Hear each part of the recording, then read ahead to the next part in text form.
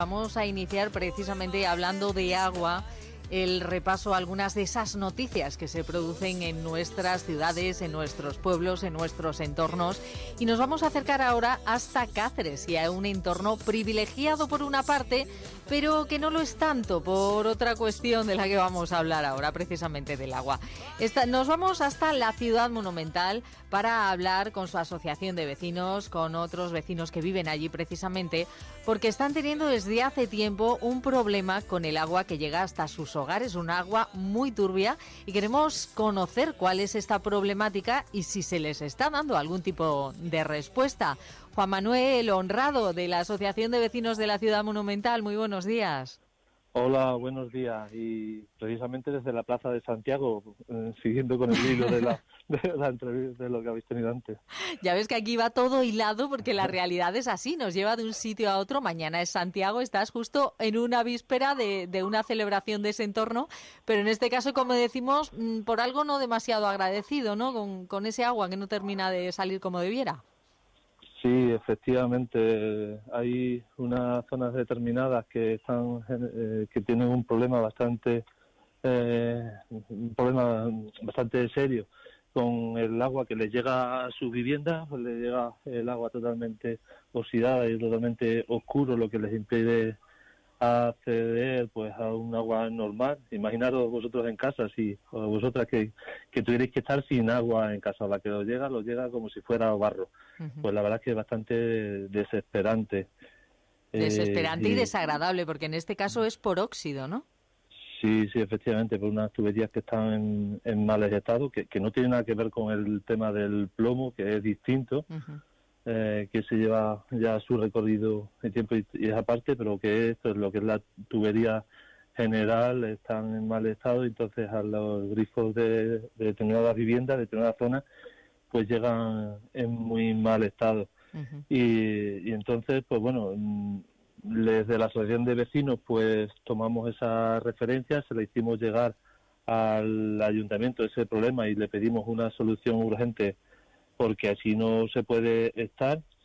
Es verdad que desde el ayuntamiento mm, se ha puesto en marcha enseguida a, tomar una solución respecto respecto a esto. Eh, han encomendado a Canal de Saber Segunda, que es el, encargado, digamos, de la gestión ahora mismo del agua en la zona, eh, un proyecto para cambiar esas canalizaciones, esas tuberías el problema que se genera en eso es que, claro, hasta que se llegue y se solucione eso, esto no es, a, no es de hoy para mañana.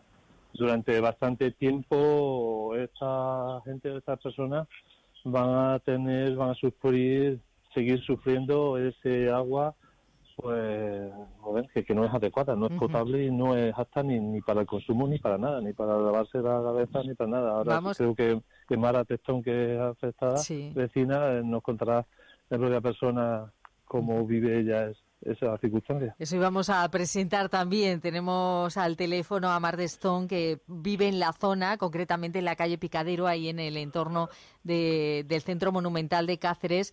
Buenos días, Mar. Hola, buenos días. ¿Cómo lo, ¿Cómo lo vivís vosotros? Porque claro, esto es abrir el grifo y tener casi chocolate todos los días. Pues la verdad es que es una situación bastante insostenible.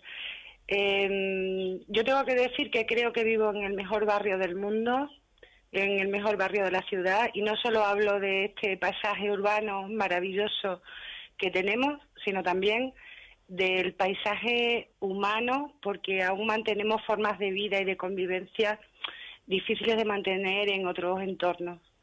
Dicho esto, pues el agua no es ni incolora, ni inodora, ni insípida. Bueno, lo de insípida no lo puedo no lo puedo mm, ratificar en primera persona porque no nos atrevemos a usarla para tomar.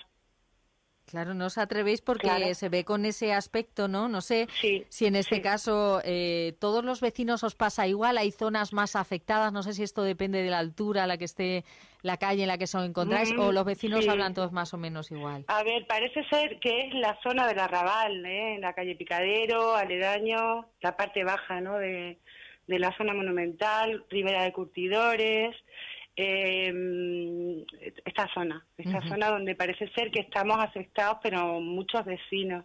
Y mucho tiempo ya, tampoco. Y tiempo, y tiempo. Cuando ocurre una vez, piensa, bueno, hay una avería y esto pasará, lo que nos obliga a tirar agua, claro, porque abres el grifo a la espera de que aquello mejore. Pero esto se está repitiendo, se está repitiendo. Esto, bueno, pues limita todo lo que es el uso del agua dentro de, una, de, una, de un hogar, ¿no? De una casa. no puedes poner la lavadora porque la ropa sale mm, pintada. Eh, todos los electrodomésticos, me imagino que se van a ir afectando. Eh, ayer hablaba un vecino de que tiene incluso los inodoros ya tintados, han absorbido el color del agua, que no es que sea amarillita, es que a veces sale de un color anaranjado, ocre, mm, bueno, un mejunje, no es agua, ya está, y no es potable. Eh, nos obliga a comprar agua embotellada con el coste económico que tiene y además el coste ecológico porque estamos generando un montón de residuos, de envases que no tendríamos por qué, ¿no? Claro, y la, y la molestia, porque además tendréis que acarrearla hasta vuestros hogares y vamos, no es una cosa sostenible a largo plazo. Juan Manuel, eh, ¿hay alguna respuesta concreta, alguna fecha o, o no? De momento no sabéis. Ayer tuvisteis, creo, una reunión para abordar diferentes temas, entre ellos este, y no sé en qué habéis quedado. Sí, a ver, sobre todo la reunión iba encaminada un poco para la puesta en común de las distintas circunstancias que están pasando, sobre todo es, en esas dos calles que se ha referido Mar Testón, en calle Picadero y en la zona de Rivera Curtidores. El tema, como decía antes, el ayuntamiento no de manera oficial, pero bueno, sí eh, lo ha comunicado por prensa y de manera directa, de manera telefónica y tal, se han puesto en marcha para que con el, encargado de hacer esto, eh, el, canal Elizabeth II gestionen el proyecto este eh, y, confiamos que se haga y, se va a hacer. Lo, lo que nos genera muchas dudas es el tiempo que se va a tardar en hacer esto, porque esto no es de hoy para mañana y esto no se puede, la gente no puede seguir teniendo ese agua, esa calidad de agua en, el día a día.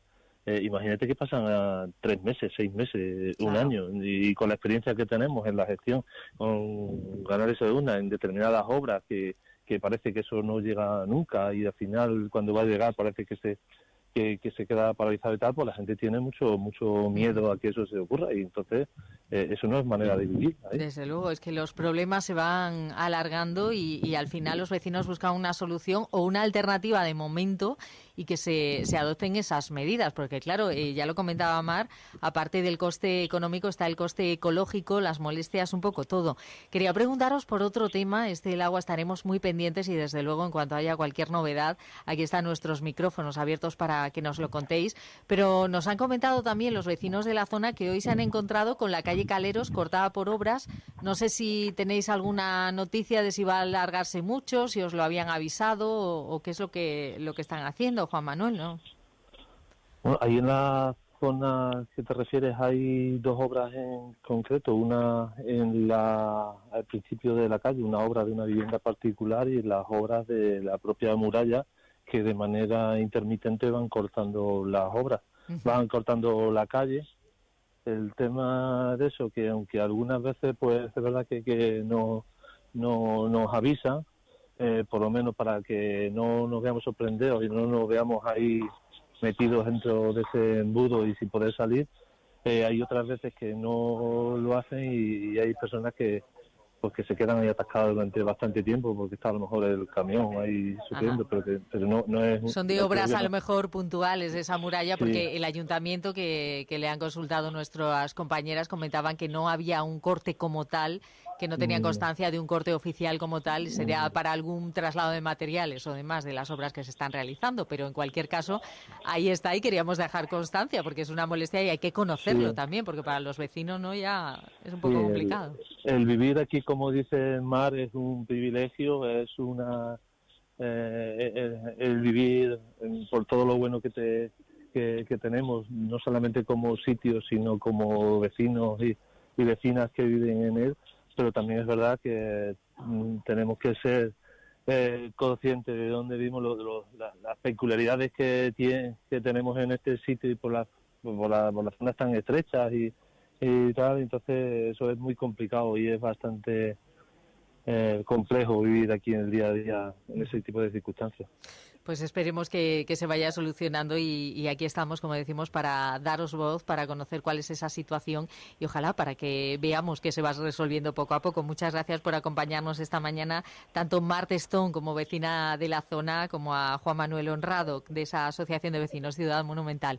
Un abrazo a los dos y estamos, ya sabéis, en contacto con vosotros también. Muchísimas gracias a vosotros.